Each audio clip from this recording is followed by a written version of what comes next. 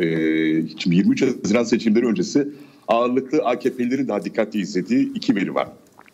Şimdi burada asıl önemlisi iki parti de yani e, AKP'de CHP'de küskün seçmeni sandığa getirmeye çalışıyor. Küskün seçmende AKP'li seçmen daha çok küsmüş. E, belli ki AK yani şey partisi çünkü gitmeyenlerin oranı AKP'de çok daha yüksek.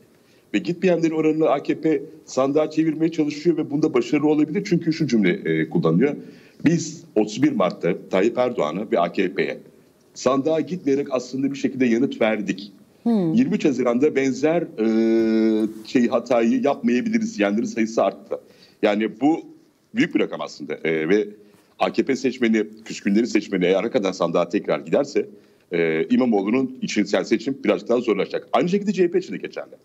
CHP'li seçmen de ve CHP'nin en güçlü olduğu yerlerde e, Kadıköy ve Beşiktaş'ta Kadıköy nüfus olarak daha yüksek.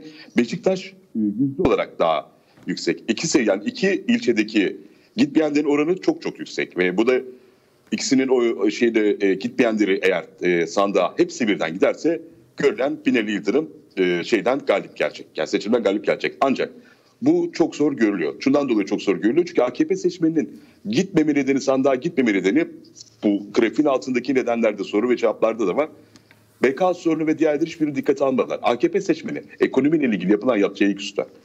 Yani şu anki e, AKP'nin en büyük politikasındaki yüksek 17 yıldır yapmaya çalıştığı bir türlü sürdüremediği ekonomi politikasındaki e, dağınıklık e, yürütememeden dolayı AKP seçmeni ya ekonomi bu kadar kötüyse ben artık sana oy vermem dedi.